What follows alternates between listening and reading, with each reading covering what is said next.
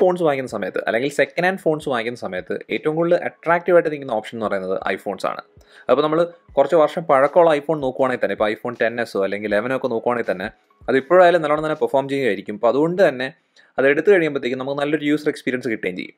നമ്മൾ ഐഫോണിന്റെ second hand lineup നോക്കാൻ നേരത്ത് നമുക്ക് പല പ്രൈസ് റേഞ്ചിലുള്ള ഓപ്ഷൻസ് വരുന്നുണ്ട്.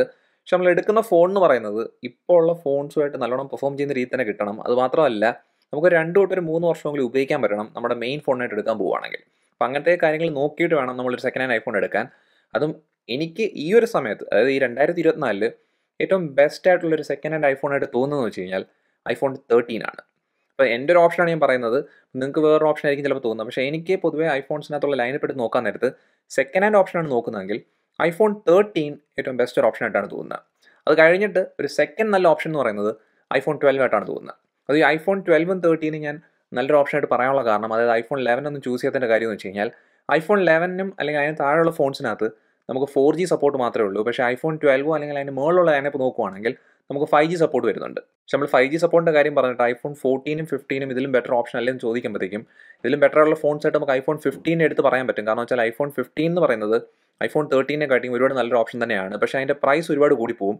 അപ്പോൾ അതുകൂടെ നോക്കിയിട്ടാണ് ഞാൻ ഐഫോൺ തേർട്ടീൻ എനിക്ക് കുറച്ചുകൂടെ നല്ലൊരു ഓപ്ഷൻ ആയിട്ട് തോന്നിയത്. അതായത് സെക്കൻഡ് ഹാൻഡ് ലൈനപ്പിനകത്ത് അപ്പോൾ ഐഫോൺ തേർട്ടീനകത്ത് തന്നെ നിങ്ങൾ കാര്യം ശ്രദ്ധിക്കുന്നത് വെച്ച് കഴിഞ്ഞാൽ ഐഫോൺ തേർട്ടീന്റെ സെക്കൻഡ് ഹാൻഡ് ഓപ്ഷൻ നമുക്ക് വരുന്നതെന്ന് പറഞ്ഞു കഴിഞ്ഞാൽ ഒരു ഫോർട്ടി തൗസൻഡും ഫോർട്ടി ഫൈവ് തൗസൻഡൊക്കെ റേഞ്ചിലാണ് ഐഫോൺ ട്വൽവ് നോക്കിക്കഴിഞ്ഞാൽ അതിനെക്കാട്ടിയും കുറച്ചുകൂടെ നല്ല ഡീൽ കിട്ടും. അപ്പോൾ അതുകൊണ്ടാണ് ഞാൻ സെക്കൻഡ് ഓപ്ഷനായിട്ട് ഐഫോൺ ട്വൽവ് പറഞ്ഞത്.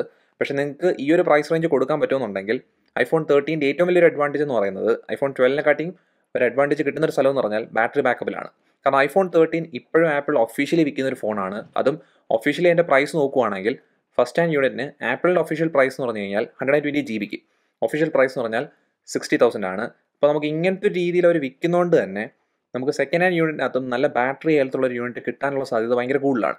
അതും ഈ ഫോണിന്റെ എല്ലാ കാര്യങ്ങളും എടുക്കാൻ നേരത്ത് എല്ലാ ഫീച്ചേഴ്സും എടുക്കാൻ നേരത്ത് ഇപ്പോൾ ഇറങ്ങുന്ന മിക്ക ഫ്ലാഗ്ഷിപ്പ് ഫോണിന്റെയും ഒപ്പം നിൽക്കുന്ന രീതിയിലുള്ള ഒരു ഫോൺ തന്നെയാണ് ഐഫോൺ തേർട്ടീൻ അത് ഐഫോൺ തേർട്ടീനും ഫോർട്ടീനും നിങ്ങൾ കമ്പയർ ചെയ്താൽ തന്നെ ഐഫോൺ ഫോർട്ടീൻ എന്ന് പറയുന്നത് ഐഫോൺ തേർട്ടീനിൽ നിന്ന് വലിയ വ്യത്യാസമൊന്നുമില്ല.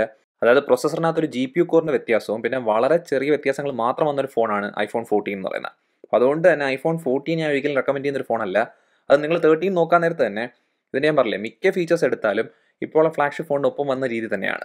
ഡിസൈൻ അത്യാവശ്യം പ്രീമിയം ആയിട്ടുള്ള ഡിസൈൻ തന്നെയാണ്. ഫ്ലാറ്റ് ആയിട്ടുള്ള സൈഡ് പാനലാണ് വരുന്നത്. പിന്നെ അലുമിനിയം ഫ്രെയിമാണ് ഉപയോഗിച്ചിരിക്കുന്നത് ഫ്രണ്ടിലും ബാക്കിലും ഗ്ലാസ് ആണ്. അതും ഈ ഫോൺ എന്ന് പറയുന്നത് കേസ് ഇടാതെ ഉപയോഗിച്ചാലും എനിക്ക് വലിയ കുഴപ്പമില്ലാതെ തോന്നിയൊരു ഫോണാണ് അതും ഞാൻ എന്റെ യൂണിറ്റ് ഏതാണ്ട് ഒരു വർഷത്തോളം കേസ് ഇടാതെ തന്നെ ഉപയോഗിച്ചാണ് അപ്പോഴൊന്നും വലിയ സ്ക്രാച്ചോ അങ്ങനത്തെ കാര്യങ്ങളൊന്നും കണ്ടില്ലായിരുന്നു. അപ്പോൾ അതുകൊണ്ട് തന്നെ എനിക്ക് ഇതിന്റെ ഡിസൈൻ ഒരുപാട് ഇഷ്ടപ്പെട്ടിട്ടുണ്ട്. പിന്നെ വെയിറ്റ് എടുത്താൽ തന്നെ ഒരുപാട് വെയിറ്റ് കൂടിയ ഫോണൊന്നുമല്ല പിന്നെ ഒരുപാട് കാലം കഴിഞ്ഞപ്പോൾ തന്നെ അതിന്റെ ബട്ടൺസിനകത്ത് പ്രശ്നം വരുമോ അങ്ങനത്തെ കാര്യങ്ങളൊന്നും ഇല്ലായിരുന്നു. അതായത് ഡിസൈൻ നല്ലോണം നിൽക്കുന്ന ഒരു ഡിസൈൻ തന്നെയാണ്.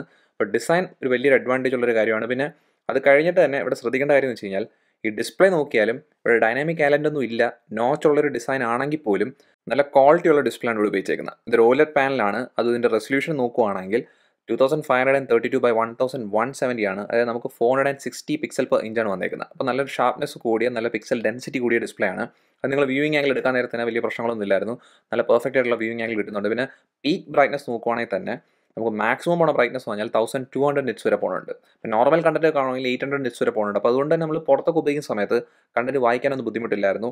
പിന്നെ അതിലൂടെ തന്നെ ഇവിടെ നിങ്ങൾ ശ്രദ്ധിക്കേണ്ട കാര്യമുണ്ട്. ഇതിനകത്ത് H D R ten support വരുന്നുണ്ട്. അപ്പോൾ അങ്ങനത്തെ രീതിയിലും കൊള്ളാം. പക്ഷേ ഈ പാനൽ നമുക്ക് റിഫ്രഷ് റേറ്റ് നോക്കാൻ നേരത്ത് സിക്സ്റ്റി ഹേർട്സ് വരെ പോകണുള്ളൂ പക്ഷേ ഇപ്പോൾ ഐഫോണിന്റെ നോർമൽ ലൈനപ്പ് നോക്കുകയാണെങ്കിൽ ഐഫോൺ ഫിഫ്റ്റീനും ഫിഫ്റ്റീൻ പ്ലസ് ഒക്കെ എടുത്താലും അത് മാത്രമേ കിട്ടുന്നുള്ളൂ. അതും പക്ഷേ അതൊരു പ്രശ്നമുള്ള കാര്യമായിട്ട് എനിക്ക് തോന്നിയിട്ടില്ല. ഇപ്പോൾ ഹൺഡ്രഡ് ആൻഡ് ട്വന്റി ഹേർട്സ് ഇല്ലാത്തൊരു കാര്യം വലിയൊരു പ്രശ്നമായിട്ട് എനിക്ക് തോന്നിയിട്ടില്ല. പക്ഷേ നിങ്ങൾ ഹൺഡ്രഡ് ആൻഡ് ട്വന്റി ഒക്കെ ഉള്ള ഒരു ഫോൺ ഉപയോഗിച്ചിട്ടുണ്ടെങ്കിൽ അതായത് അത്രയും റിഫ്രഷ് ആയിട്ടുള്ള ഒരു ഫോണാണ് നിങ്ങൾ ഉപയോഗിച്ചതെങ്കിൽ അപ്പോൾ നിങ്ങൾക്ക് ശ്രദ്ധിക്കാൻ പറ്റും. പക്ഷേ ഇവിടെ ഐ ഒ എസ് എന്ന് പറയുന്നത് പൊതുവെ ഒപ്റ്റിമൈസ്ഡ് ആയതുകൊണ്ട് തന്നെ അങ്ങനെ ലാഗും കാര്യങ്ങളൊന്നും അധികം കാണാൻ പറ്റത്തില്ല.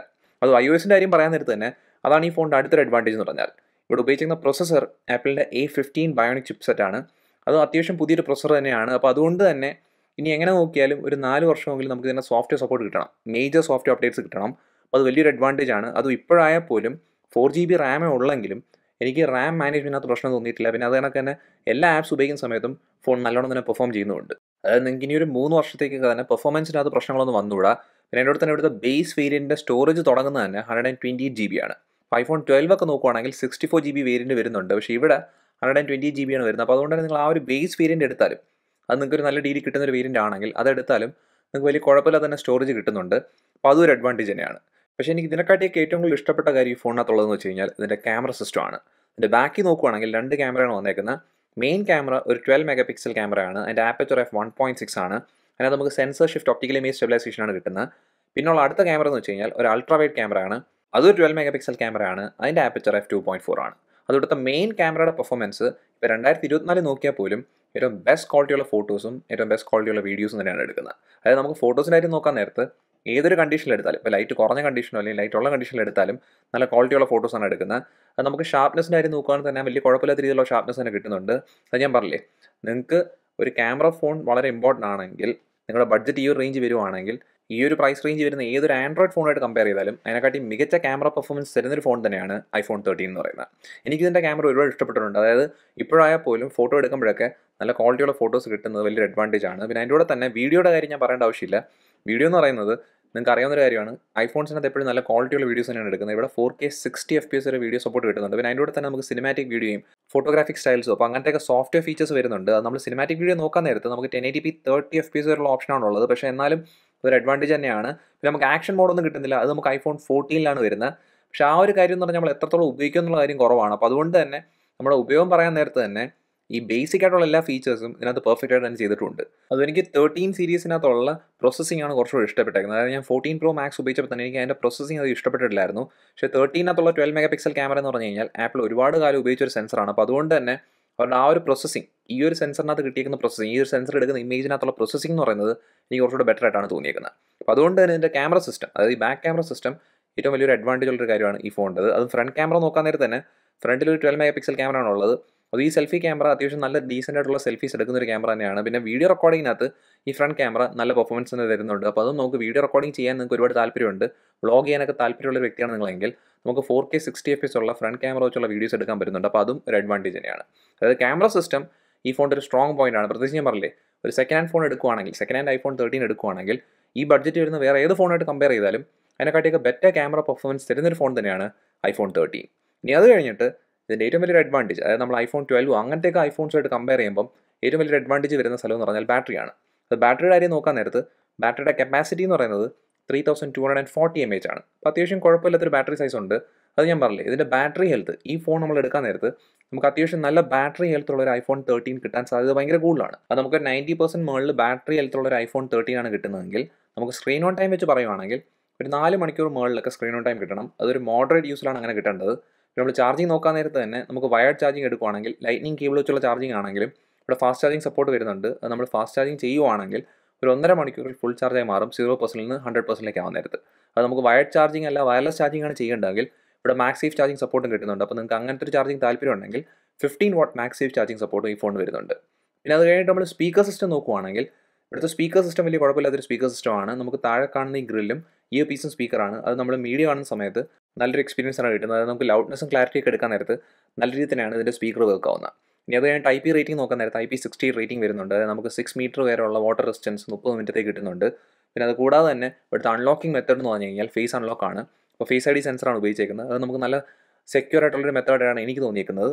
പിന്നെ അത് കഴിഞ്ഞിട്ട് നമ്മൾ ബ്ലൂടൂത്ത് വേർഷൻ എടുക്കുകയാണെങ്കിൽ ബ്ലൂടൂത്ത് വേർഷൻ ഫൈവ് ആണ് വൈഫൈ വേർഷൻ സിക്സ് ആണ്. അതായത് നമുക്ക് ഈ ഒരു കാര്യങ്ങളൊക്കെ നോക്കാൻ നേരത്ത് അത്യാവശ്യം നല്ല രീതി തന്നെയാണ് ഇതിന്റെ സെൻസേഴ്സും കാര്യങ്ങളെല്ലാം ഉള്ളത്. അപ്പോൾ അതുകൊണ്ട് തന്നെ അതൊക്കെ നമുക്ക് ഫ്ലാഗ്ഷിപ്പ് ഫോണായിട്ട് കമ്പയർ ചെയ്യുമ്പോഴത്തേക്കും അതിനൊപ്പം തന്നെ നിൽക്കുന്ന രീതി തന്നെയാണ് ആ കാര്യങ്ങളൊക്കെ വരുന്നത്. അതായത് ഇങ്ങനത്തെ എല്ലാ കാര്യത്തിനകത്തും മികച്ച് നിൽക്കുന്ന ഒരു ഫോണായതുകൊണ്ട് തന്നെയാണ് ഞാൻ പറഞ്ഞത്. നിങ്ങളൊരു സെക്കൻഡ് ഹാൻഡ് ഐഫോൺ വാങ്ങിക്കാൻ നിൽക്കുവാണെങ്കിൽ അതിൽ വെച്ച് എനിക്ക് തോന്നുന്ന ഏറ്റവും ബെസ്റ്റ് ഓപ്ഷൻ എന്ന് പറഞ്ഞാൽ ഐഫോൺ തേർട്ടീൻ തന്നെയാണ്. അതായത് നിങ്ങൾ ഈ ഒരു ഫോൺ എടുത്തു കഴിഞ്ഞാൽ നിങ്ങൾക്ക് രണ്ട് തൊട്ട് മൂന്ന് വർഷം വരെ ഒരു പേടിയും വേണ്ട. അതായത് ഈ ഒരു ഫോൺ നല്ലോണം തന്നെ പെർഫോം ചെയ്യും. അപ്പോൾ അത് കഴിഞ്ഞാലും ചിലപ്പോൾ നമുക്ക് നല്ലോണം തന്നെ ഉപയോഗിക്കാൻ പറ്റുന്ന ഒരു ഓപ്ഷനായിട്ട് തന്നെ നിൽക്കും. അതുകൊണ്ട് തന്നെ ഇപ്പോൾ നിങ്ങളൊരു സെക്കൻഡ് ഹാൻഡ് ഫോൺ വാങ്ങിക്കാൻ നോക്കുന്നുണ്ടെങ്കിൽ ഏറ്റവും ബെസ്റ്റ് ആയിട്ടുള്ള ഒരു ഐഫോൺ ആണ് നിങ്ങൾ നോക്കുന്നത്. സെക്കൻഡ് ഹാൻഡ് ഓപ്ഷൻ ആയിട്ട് നോക്കുവാണെങ്കിൽ നമ്മൾ ബഡ്ജറ്റ് വെച്ചും കൂടെ പറയുവാണെങ്കിൽ എനിക്ക് തോന്നിയിരിക്കുന്ന ഏറ്റവും നല്ല ഓപ്ഷൻ ഐഫോൺ തേർട്ടീൻ ആണ്. അതായത് നമുക്കിവിടെ ഫൈവ് ജി സപ്പോർട്ടും പിന്നെ ബാക്കിയുള്ള എല്ലാ ഫീച്ചേഴ്സ് എടുത്താലും നമുക്ക് നല്ലോണം തന്നെ കിട്ടുന്നതുകൊണ്ട് തന്നെ ഈ ഒരു ഫോൺ നിങ്ങൾ എടുത്തു കഴിഞ്ഞാൽ നിങ്ങൾക്ക് നല്ലൊരു എക്സ്പീരിയൻസ് ആണ് ഈ ഫോണിൽ നിന്ന് കിട്ടുകയും ചെയ്യും. പക്ഷേ നിങ്ങൾക്ക് ഇത്ര ഒരു ബഡ്ജറ്റ് കൊടുക്കാൻ താല്പര്യമില്ലെങ്കിൽ നിങ്ങൾ ഐഫോൺ ട്വൽവ് എടുത്താലും ഏതാണ്ട് കുഴപ്പമില്ലാത്ത അല്ലെങ്കിൽ ഇതിനൊപ്പം നിൽക്കുന്ന ഒരു രീതിയിലുള്ള പെർഫോമൻസ് തന്നെ തരുന്ന ഒരു ഫോൺ തന്നെയാണ് ഐഫോൺ ട്വൽവ് പക്ഷേ ഐഫോൺ ട്വൽവിനകത്ത് ഞാൻ പറഞ്ഞായിരുന്നല്ലോ. ബേസ് വേരിയന്റ് തുടങ്ങുന്നത് സിക്സ്റ്റി ഫോർ ജി ബി ആണ്. അപ്പോൾ നിങ്ങൾ hundred and twenty G B എടുക്കാൻ നേരത്ത് പ്രൈസിംഗ് എന്ന് പറയുന്നത് ചിലപ്പോൾ കുറച്ചുകൂടെ കൂടി പോകും അപ്പോൾ അത് നോക്കാൻ നേരത്തെ തന്നെ ഇതിനൊപ്പം വരാനുള്ള സാധ്യത കൂടുതലാണ്. അപ്പോൾ അതുകൊണ്ട് തന്നെ ഐഫോൺ ട്വൽവും ഐഫോൺ തേർട്ടീനും കമ്പയർ ചെയ്യുമ്പോഴത്തേക്കും സ്റ്റോറേജും കൂടെ നിങ്ങൾ നോക്കിക്കോണം. അപ്പോൾ അങ്ങനെ നോക്കി കഴിയുമ്പോഴത്തേക്കും നിങ്ങൾക്ക് iPhone ട്വൽവിന്റെ hundred and twenty G B നല്ലൊരു ഡീൽ കിട്ടുവാണെങ്കിൽ അത് നല്ലൊരു ഓപ്ഷൻ തന്നെയാണ്. ഇപ്പോൾ ഈ വീഡിയോ എന്ന് പറഞ്ഞാൽ വീഡിയോ നിങ്ങൾക്ക് ഇഷ്ടപ്പെട്ടെങ്കിൽ വീഡിയോ ഉറപ്പായിട്ട് ലൈക്ക് ചെയ്യുക. അതുകൂടെ ചാനൽ സബ്സ്ക്രൈബ് ചെയ്യുക. ഈ ചാനൽ പ്രൊമോട്ട് ചെയ്യുക. നമുക്ക് എത്രയും പെട്ടെന്ന് അടുത്ത കാണാം. അതുവരെ ബൈ